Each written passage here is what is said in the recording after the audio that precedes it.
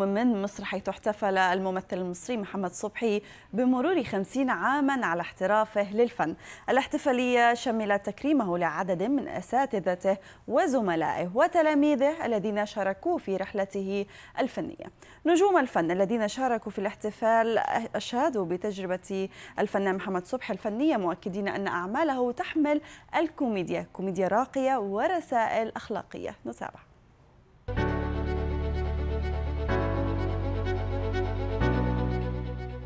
خمسون عاما من الإبداع والكوميديا الهادفة.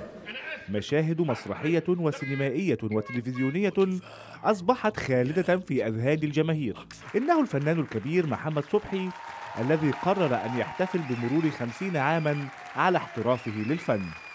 احتفالية خمسين سنة ما هياش احتفاء ولا احتفال بمسيرتي إنما هي تكريم لكل اللي شاركوا وساهموا فيها وصنعوا معايا نجاحها وتألقها. صبحي قرر أن يشمل تكريم مسيرته الاحتفاء بالعديد من الفنانين والمسؤولين. إنه النهارده بيحتفل ب 50 سنة عطاء في مسيرة فنية عظيمة ويكرم فيها من شاركوه هذه المسيرة و...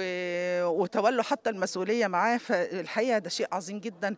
بعتبر إن أنا محظوظة إن أنا ابتديت أعمالي مع الأستاذ محمد صبحي لأن كلها أعمال حلوة بتقول كلمة محبوبة والناس كلها حابينها. متشكرين جدا يا صبحي على المسيرة بتاعتك المشرفة اللي بتشرف كل فنان وإنك أنت إنسان وفي في زمن عز فيه الوفاء. جدير بالذكر أن الفنان محمد صبحي قد تخرج من أكاديمية التمثيل عام 1970 وشارك في العديد من المسرحيات التي كان أولها هلو شلبي. ثم شارك رفيق دربه الكاتب الراحل لينين الرملي تجربة مسرح استوديو 80 التي قدمت عددا من المسرحيات من أشهرها الهمجي وتخاريف ووجهة نظر.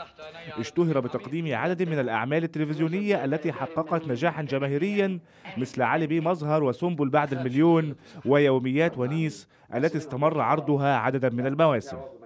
وأخيرا فإن اسم الفنان محمد صبحي سيبقى خالدا لدى الأجيال المتعاقبة من الجماهير بسبب التزامه وعشقه للفن الجاد.